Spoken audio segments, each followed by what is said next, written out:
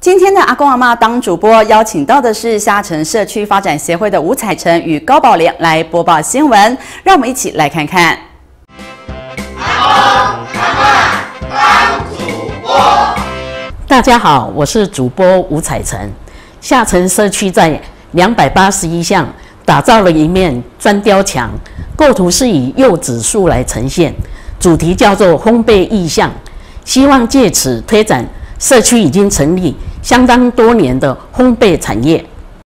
面包、蛋糕、牛角、安菇桂等美味可口的点心，全都变成了砖雕墙上的主角。这面砖雕墙是下城社区最近在两百八十一巷巷弄内全新打造，整体构图是以柚子树来呈现，主题叫做烘焙意象，是由下城社区发展协会总干事陈燕凤所发想。他表示，下城社区发展协会成立烘焙班已经有相当多年时间，小有名气。为了能够推展社区特色，因此将社区烘焙产业图像变成了砖。雕艺术镶嵌在社区巷弄中，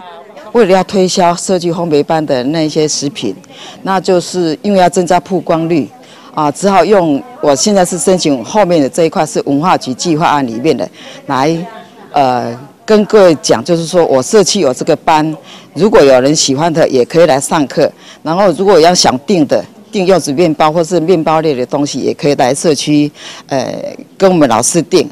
而下城社区发展协会理事长林贞子也亲自参与这次砖雕制作活动。他希望这面砖雕墙可以成为社区一日游的解说图，为社区产业创造效益。因为要有这个意向，让他们好像在贴在这个墙壁上，让他们有一点印象。看到了，哇，我们这里也有烘焙，也有烘焙要做什么？呃，这些成品出来啦。以前还有安菇柜啦，还有切卡柜啦，哦，还有什么这边面包什么种种的。艺术家陈峰选择期待结合了砖雕艺术，能够为下城这个老旧社区注入新元素，让更多人看见下城丰富的人文内涵。七十多年呢，啊，被那个政府列为禁建区啊，那维持它一个很淳朴风气的一个社区，我感觉这个社区有它的味道在，本身也是这里的。诶，李明啊，那 我就把这个老社区的这个氛围跟我的艺术呢啊结合起来。下城社区目前已经有十多面砖雕墙，砖雕艺术不仅打造社区新风貌，也凝聚了居民的向心力，更丰富了下城社区的观光资源。记者陈明、张文琪新店采访报道。大家好，我是主播高宝莲。新店下城社区利用闲置空地，必建一处可实地景，并且邀请崇光社区大学老师来上课，教导植物栽种的知识，让可食地锦的成果相当丰硕。绿油油的可食地景是新店下城社区近起来的心血成果，而这片看起来相当疗愈的可食地景，之前却曾是个脏乱点。经过了社区努力，现在完全截然不同。新店区长林黄元在可食地景收成的这天，一起来分享这丰硕的成果，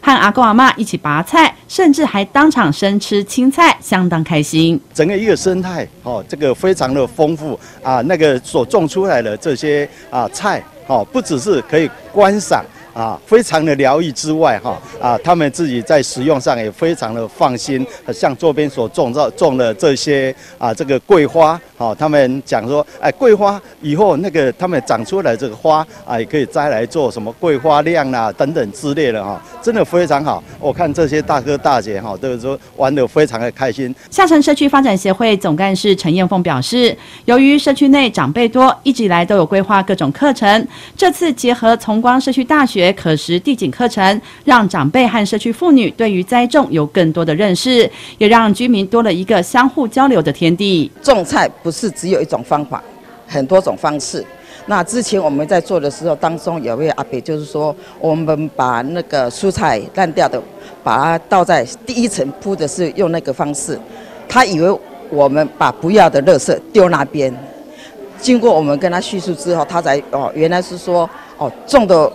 种菜的方式有很多种，感觉到非非常的好，因为全部都是用天然的肥料，不加任何的农药下去处理的，所以这个菜看起来又新鲜又大。感觉的很好，又没农药，又有机的菜。总干事陈燕凤指出，透过不同的课程学习，可以增加长辈走出家门的机会，减缓老化，对于身心健康都大有帮助。而现在又有了这片户外的学习基地，以环保方式进行栽种的可食地景，不使用农药，种出来的青菜新鲜又可口，还兼具美化环境的功能，不仅为社区增添了几分风采，大家欢喜收成，更是成就感十足。记者陈小蛋、张芳琪新店采访报道。